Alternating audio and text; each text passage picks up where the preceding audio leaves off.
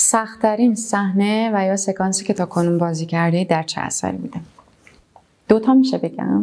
سریالی بود که آقای حاتمی کار می‌کردن به اسم محکومی که اپیزودهای مجزا بود. هر قسمت داستان خودش رو داشت. اپیزودی که مربوط به ما بود، مربوط به من بود یه دختری بود که خیلی پدرش رو دوست داره.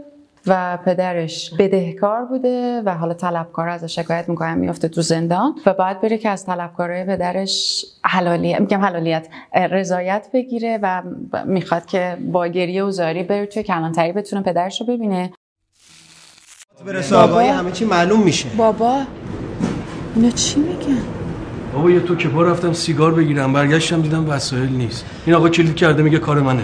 به هر حال تا روشن شدن موضوع شما اینجا میمونی. ببرش. ببرش بازش آقا واسه چهار تا آتاشخال که از سر ساختمون بردن که شوهر منو نمیندازن زندان. آتاشخال چی خانم؟ این ام، سکانس ها یعنی اولین سکانسی که من بازی کردم تو این کار فردای خاکسپاری پدر خودم بود. و خب خیلی سخت بود. یعنی اولین چیزی هم که رفتم جلوی دوربین جلوی یکی از طلبکارا وایساده بودم. داشتم گریه می‌کردم که بیاد رضایت بده و خب دیروزش از خاکسپاری به در اومده بودم و خیلی سنگین بود واسم. یکی این بود که خب بیادم مونده همیشه. یکی هم توی همگناه جایی که می‌خوام به محسن خبر سرطان زیبا رو بدم. خیلی از بعد از ظهر خیلی هم خودم سنگین بودم هم غمگین بودم. یه عصر خیلی سرد که حالم خیلی آماده بود واسه این سکانس.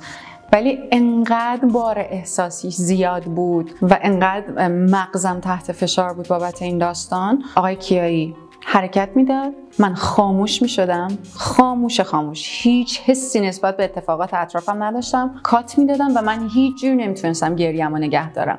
ده ثانیه بعد دوباره حرکت می‌دادم و من disconnect میشم از تمام دنیای اطرافم. خیلی بهم فشار اومد. خیلی. چون هم می‌دونستم که سکانس خیلی مهمیه. باید قابل باور بشه باید دیدنی بشه. باید تاثیرگذار باشه و واقعیتش انقدر داشت به خودم فشار میومد که نمی‌تونستم انجامش بدم. در نهایت نتیجه خوب بود ولی چیزی که واسش برنامه‌ریزی کردم خیلی متفاوت تر از چیزی بود که انجام شد. یعنی یه موقعی شما یه کاری رو انجام میدین همه میان میگن به به چقدر عالی بود چقدر خوب بود در اومد درست بود و اینا. ولی اون چیزی که تو مغزتون بوده اتفاق نیفتاده و اون خستگیش میمونه به تنتون. اون کاری که می‌خواستین بکنین نبوده. یعنی من پر بودم از حس اون اتفاقی که افتاده حسی که اون سکانس باید میداشت. ولی در نهایت نتونستم همه اون رو تخلیه کنم. اینم به این معنی نیست که حالا مثلا بشینم گریه کنم بزنم تو سرم فلان و اینا که تحت تاثیر قرار بدم. نه چیزی که تو میگذشت خیلی بیشتر چیزی بود که تونستم اجرا کنم. اوضاع اصلا خوب نیست. چی اوضاع اصلا خوب نیست.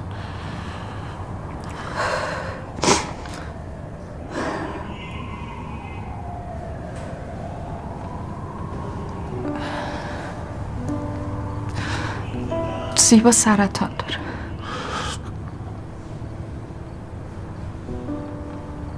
سرطان بدی هم.